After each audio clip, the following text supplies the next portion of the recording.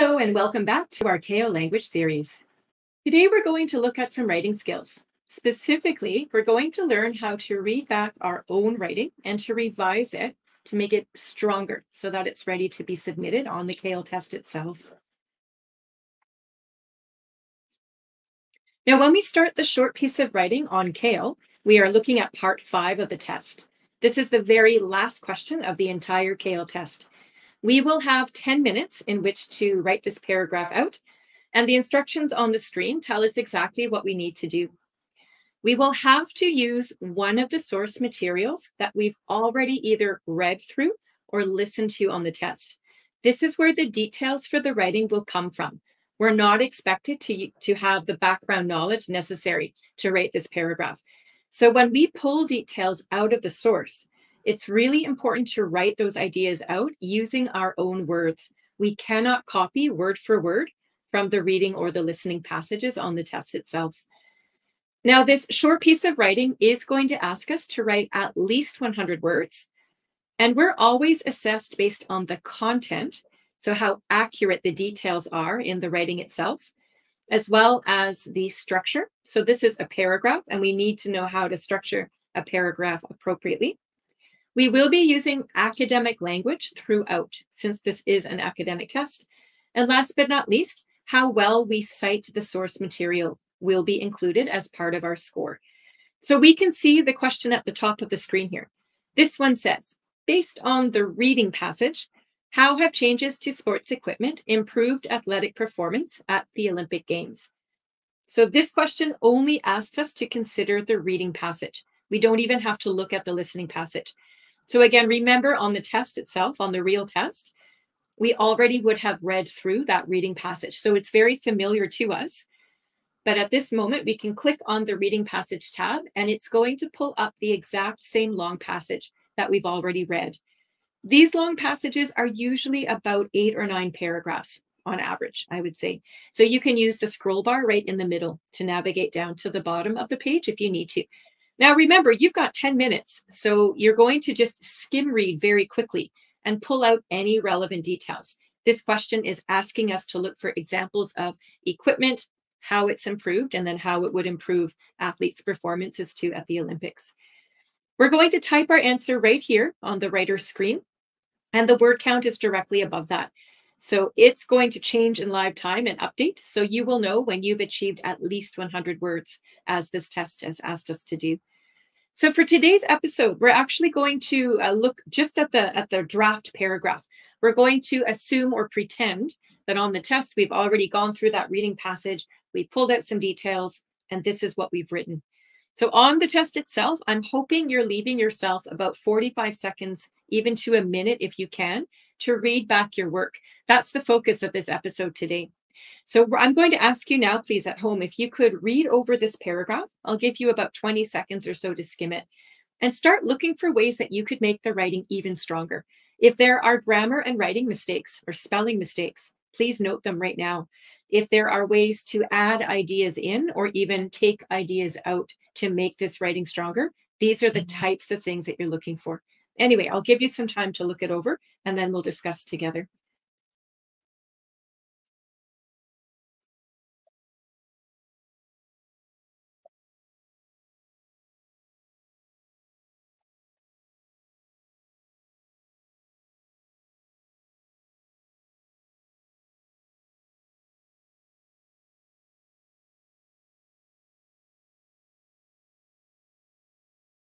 Okay, if you need more time to review, that's fine. Please just pause this video and take all the time you need. I'm going to start talking about the passage now and we'll move along together. So the first thing I'll point out is right down here. It's very close. We were supposed to achieve 100 words. We've got 99 words. So at some point as we fix this paragraph up, we're going to have to add some details in. So let's start with that first sentence. I'll just make it orange so that we can all look at it together. I think the idea itself is along the right track. I mean, we are starting to introduce the topic about how sporting equipment is improving athletes' performances. But there are two things that I think we can fix up here to make this even better. Let's look at the language choices first. So right now it says advancements in technology used to design sporting equipment has improved athletes' performances. Advancements in technology works, but I think if we were to reverse the order of these phrases, if I can take that word technology and turn it into an adjective like this, technological advancements, just sounds higher level. So that's an easy fix to make. So that's one we'll do right now. Used to design sporting equipment. I'm just going to make that a bit simpler. So technological advancements in sporting equipment. There's a grammar mistake.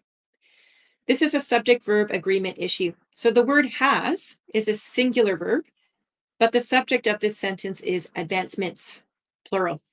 So it's easy to fix once you recognize the mistake. We'll just change that verb and make it plural as well. So it becomes have. So these advancements have improved athletes' performances.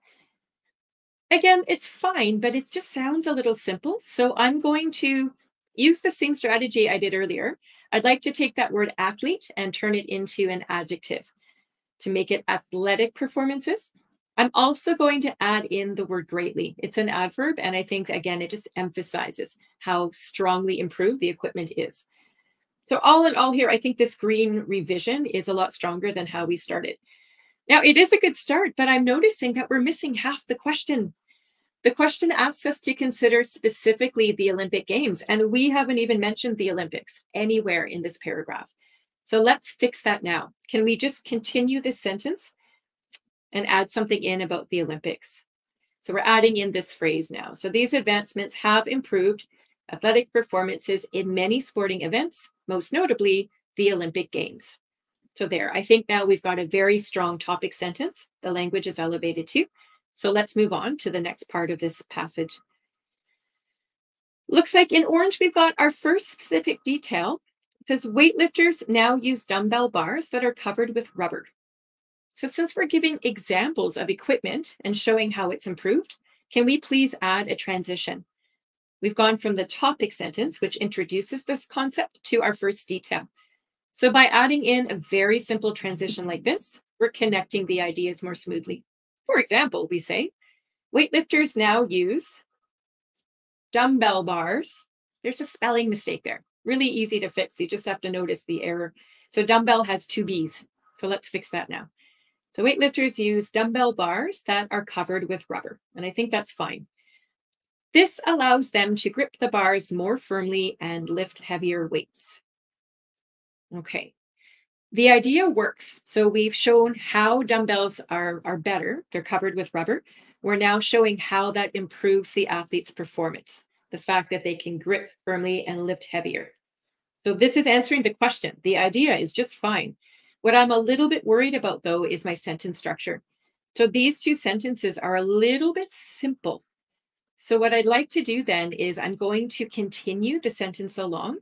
So instead of finishing the sentence at rubber and starting new, I'm going to connect these two sentences together.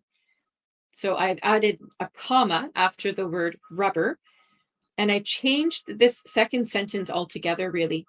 So if we wanted to look back, we did have this allows them. Once we connect them, we're just saying allowing for. Here we've got stronger grips and attempts at lifting heavier weights. So again, it just flows a lot more smoothly that way. So we're not changing the idea. It's just the language that we're playing around with. So we've created now a correct complex sentence. This is what we want to do on the test. The more complexity we can demonstrate, the better overall. So let's move on now to our second example. It looks like this one is all about bicycles and how they've improved for cyclists at the Olympics. I'll read the two sentences together here, and let's look for ways that we can make this even stronger. We've got cyclists now drive bikes that use carbon fiber technology that was originally used in the construction of airplanes. These bikes now weigh under four pounds and can be ridden faster than any time in the past. Okay, so again, the ideas are great. We know how the bikes um, have been improved and then how that has improved athletes' performances. So again, the idea is just, just fine. I did notice though a repetition. I'm not sure if you noticed it, so I'd like to point it out for you. I've used the word now three times in such a short paragraph. I think that's too much. It, it tends to sound, again, too repetitive.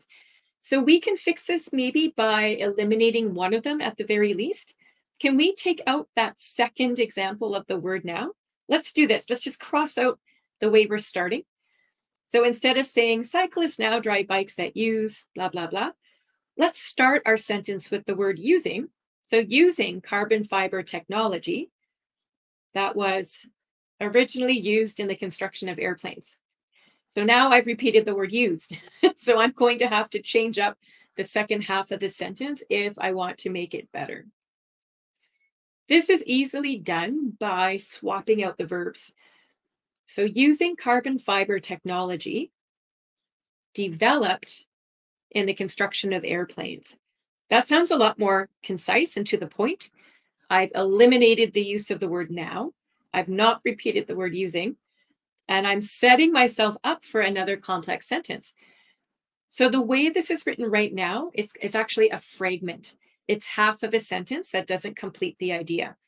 All I need to do to fix that big mistake is to turn this period into a comma and continue the sentence right along. So obviously I need to change the, the T to a smaller case so that it's one sentence now. So let's examine the whole thing in one and see how it sounds. So it says using carbon fiber technology developed in the construction of airplanes, these bikes now weigh under four pounds and can be ridden faster than any time in the past. Great. So we have another complex sentence, and that's going to help us with our, our overall score there on the CAEL test. The only other small thing I would adjust now is here. Because I rewrote this sentence, I took out that part about bicycles in the beginning by saying here, these bikes, doesn't really make sense. I've not introduced bikes anywhere. So I can't say these bikes. Instead, I want to use something a bit more, um, more general. So let's just name the item. Since we're talking about bicycles being very light anyway, I'll use that adjective lightweight as a descriptive word. And instead of saying bike, I think bike is a bit casual anyway. Can we just use bicycles? Means the same thing. But again, it's just more precise this way. So we've now fixed up that second detail, and I think it's a lot better anyways than how we started. That third detail looks like it's all about arrows and archery. So it says carbon fibers are also used to coat the current glass and foam arrows used by archers. I'd like to just change that one word. Current is okay, but I tend to, I think I prefer modern. It just sounds a little more elevated. So that's the one tiny adjustment I could make there. And then last but not least, I've got these materials increase the speed and also the accuracy of each shot and also means the same thing, right? So I don't think I need both words side by side. This is an easy one. Let's just take one of the words out. It makes sense just like so. And that's uh, that's the best way to go. So we've finished revising what we started with.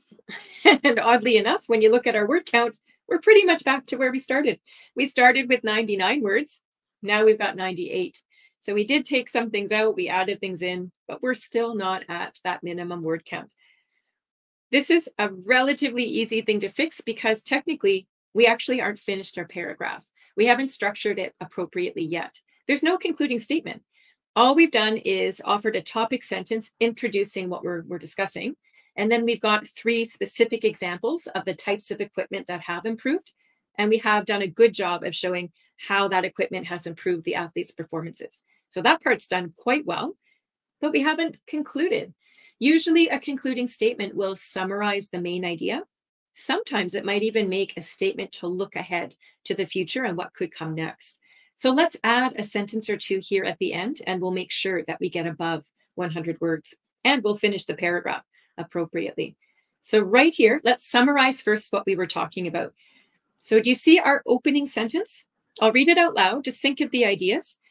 The opening sentence says Technological advancements in sporting equipment have greatly improved athletic performances in many sporting events. We're going to say the same thing, but in different language. We're going to paraphrase that. Let's try this. The evolution of sports equipment has provided athletes with more opportunities to improve performance and set new records. Same idea, different language. And that's exactly what you want to do on your test. Never repeat yourself. Always use synonyms and paraphrased ideas. if we've got time, let's add that one statement to look ahead to the future. Something like this would work well here. So athletic gains will likely continue to occur as technology is developed further. Yeah, so I think that's a nice way to end. There's one more tiny revision I would recommend we try, and it has to do with the way these last two sentences fit together. It's correct the way it is now, but we can choose right here, instead of using a period, we can choose to use a semicolon, which is what that orange arrow is pointing to. And then when we use a semicolon, we have to then use a smaller case letter on the sentence that comes next. So again, both are correct, but we use a semicolon when the meaning in the sentences are very closely connected. And I think when you look at our conclusion, you would agree that those two meanings go together quite nicely. And I think too, because we haven't used a semicolon anywhere else in the writing, it's nice for us to demonstrate to the raters that we actually know how to create different structures. We know how to use different punctuation and so on correctly.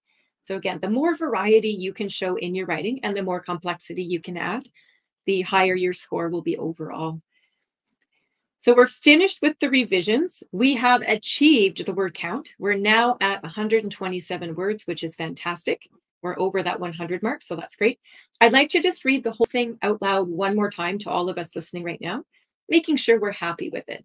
Let's double check our revisions are actually correct. So it says, technological advancements in sporting equipment have greatly improved athletic performances in many sporting events, most notably the Olympic Games. For example, weightlifters now use dumbbell bars that are covered with rubber, allowing them to grip the bars more firmly and lift heavier weights. Using carbon fiber technology developed in the construction of airplanes, lightweight bicycles now weigh under four pounds and can be ridden faster than any time in the past. Carbon fibers are also used to coat the modern glass and foam arrows used by archers. These materials increase the speed and the accuracy of each shot. The evolution of sports equipment has provided athletes with more opportunities to improve performance and set new records. Athletic gains will likely continue to occur as technology is developed further. There, much better than the way it was when we started. Now, again, we've been talking together for just over 17 minutes. On your test, you've got 10 minutes to write your your draft and to read it back and make your revisions there.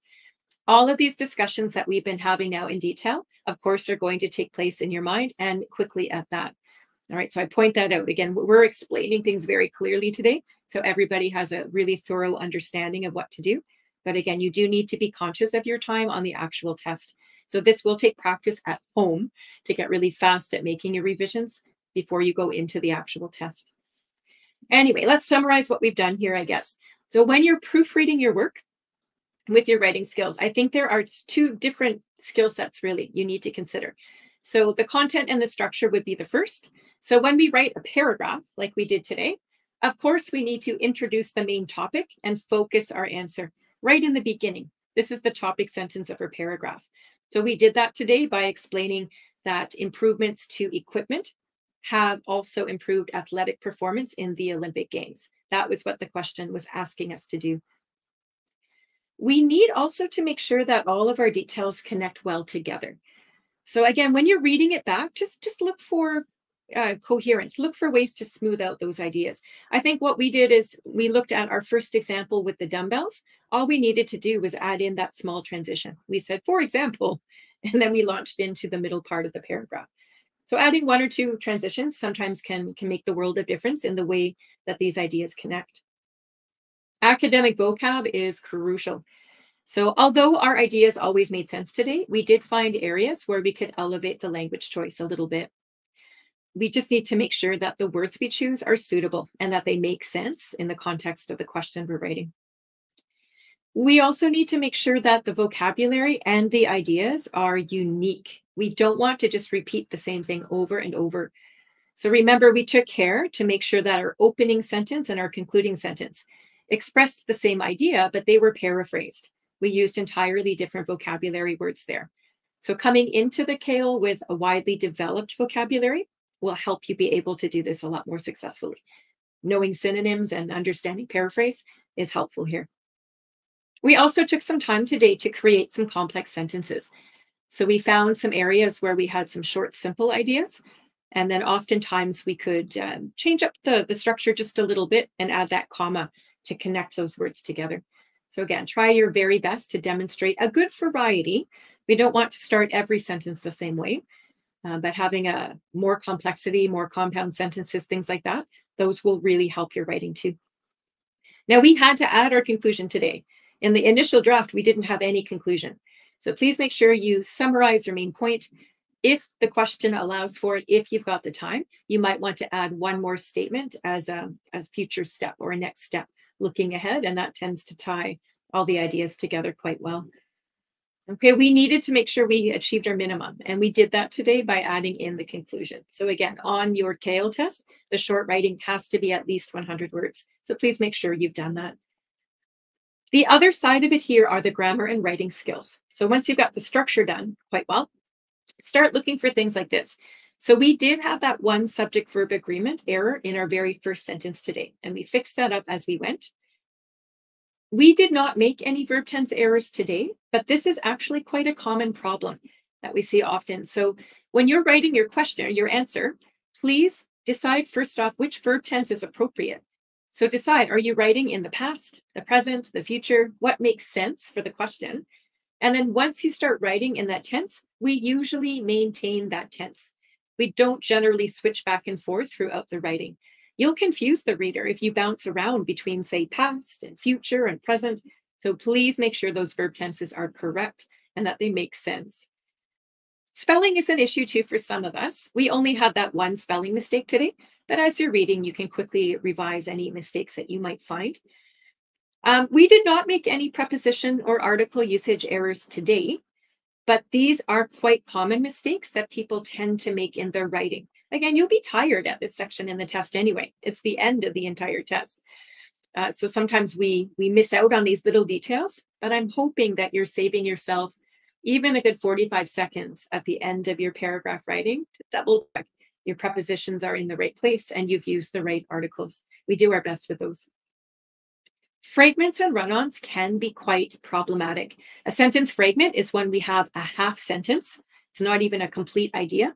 And what we need to do there is connect it to the next sentence or to the sentence beforehand. We did that a little bit today. I think in our revisions, we actually created a few fragments and we fixed it easily enough by adding uh, that fragment onto another sentence.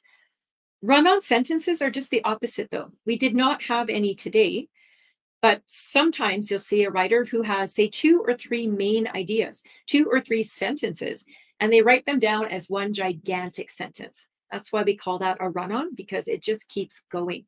And when we make these kinds of mistakes, it's really difficult for the reader to understand what you're talking about. So again, if you've got issues with fragments or run-on sentences in your own writing, these are things you'll definitely want to practice at home to make sure you know how to write a correct sentence structure before coming into the CAEL test. Okay, let's leave it at that for today. Please join me next time and we'll continue our skill development. See you then.